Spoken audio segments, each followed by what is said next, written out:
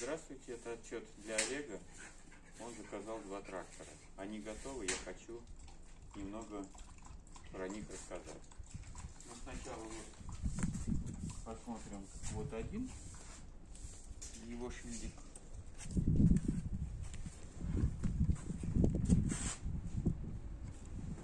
Вот второй трактор. А, трактора никаких изменений нету, кроме одного. На валах хода находятся шестерни. Они раньше приваривались. И были случаи, сварка, ну, проворачивались э, звездочки на валу. Ну, не знаю почему.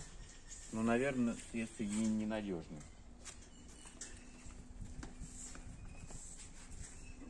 Теперь конструкция стала другой. Звездочка располагается на ступице, шпон паз одевается и фиксируется стопорными кольцами. Ну, такую штуку уже провернуть в принципе невозможно. Так, теперь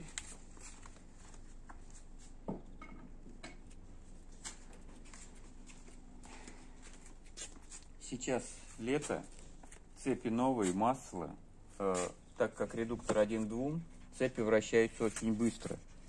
И они в летнее время сейчас перегонять, они будут пачкаться, поэтому вот эти штуки, это просто, чтобы загнать куда-нибудь. Вот масло как брызгает.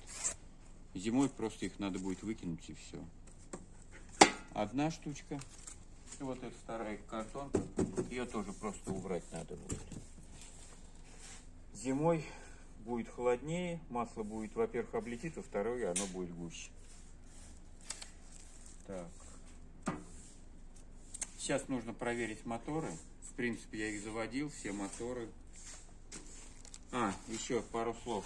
Моторы пришли, вот которые из Ижевска. Это серия Т, Ливан. Это э, моторы повышенной, повышенных оборотах. Как следствие, у них мощность не 7 лошадиных сил, а 8. Правда, для трактора обороты не нужны. Ну так, мелочь, а приятно. И хороший плюс, что они идут с праймером. Зимой это очень помогает. Не надо будет другим способом туда, в случае чего, подавать бензин. Нажал, подкачал, они должны легко зимой заводиться. Так, заводим.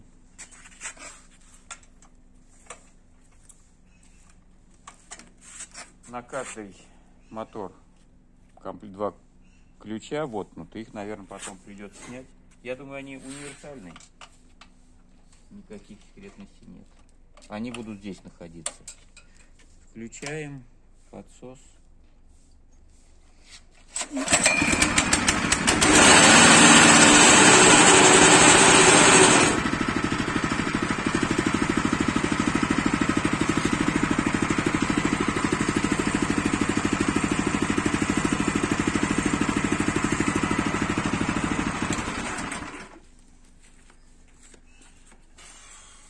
Большой мотор. Также включаем зажигание, подсос, открываем бензин.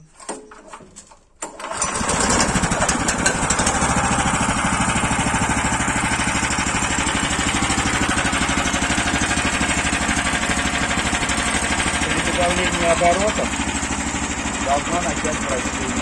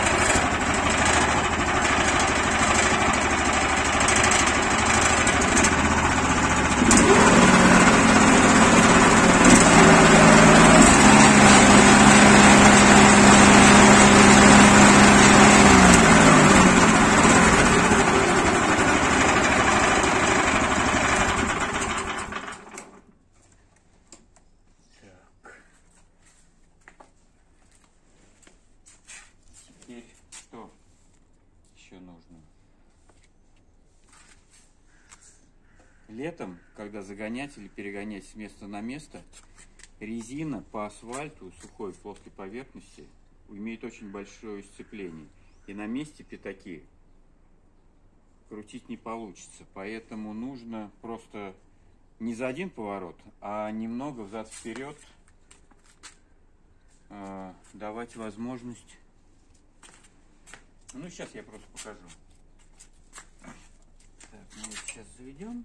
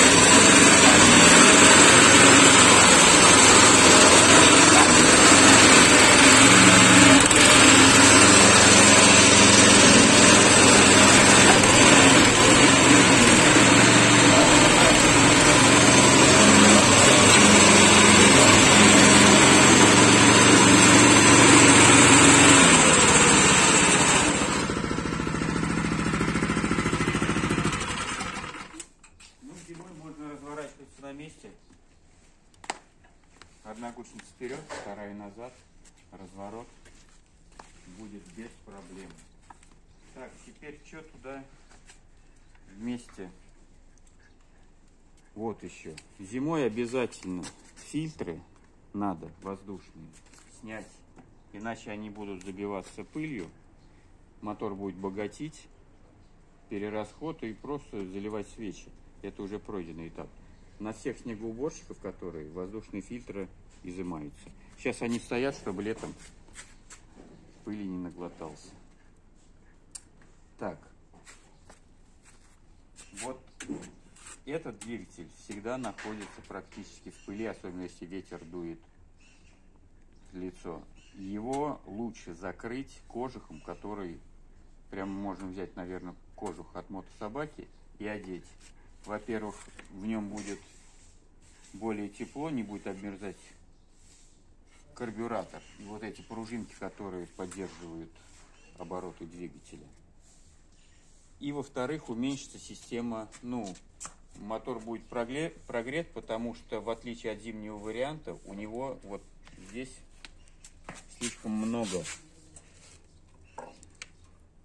э, прорезей. У зимнего варианта этот вообще закрыт цельнометаллический, охлаждение идет только вот через вот эти вот боковые. Но если накрыть чехол, то это будет лучше. Ну, я сам, когда чищу, я чехол не одеваю, мне почему-то и так все нормально, не обмерзает. Так, теперь что, какие документы? Вот то, что будет идти к трактору. Это два ремня, два домкрата. Это будет по два. Два свечных ключа. Реле регулятор на мотор хода, потому что там стоит катушка зажигания. И инструкции на маленький мотор. И инструкция на большой мотор. Это то, что было в коробке. Домкраты но я уже показывал, еще раз напомню. Если нужно поправить гусеницу или натянуть, или там поменять подшипник катки, вот гнездо домкрата сюда вставляем. И все. Один. И второй. Гусеница вывешивается и делается с ней что угодно. Обыкновенный домкрат, который вот сюда он нам не поможет. Особенно если это зимой где-нибудь в колее, в каше, в снежном. Только такие домкраты помогут. Если необходимо снять навеску, то домкраты ставить вот таким образом. С двух сторон.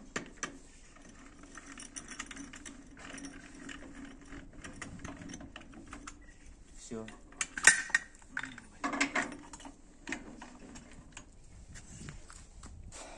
Трактор, передняя часть приподнимается. Под заднюю часть поставляется чурочка, чтобы навеска была приподнята. Домкраты опускаются. Убираются фиксаторы слева и справа. И трактор назад отъезжает, а навеска остается на месте. Так, с этим тоже все. Теперь масло и бензин с моторов будут слиты, потому что транспортные компании заставляют это делать. Ну, правда, не всегда. Вот последний раз я отправлял почему-то на мотор хода масло меня не заставили сливать. Ну, короче, как получится. Ну, в принципе, все.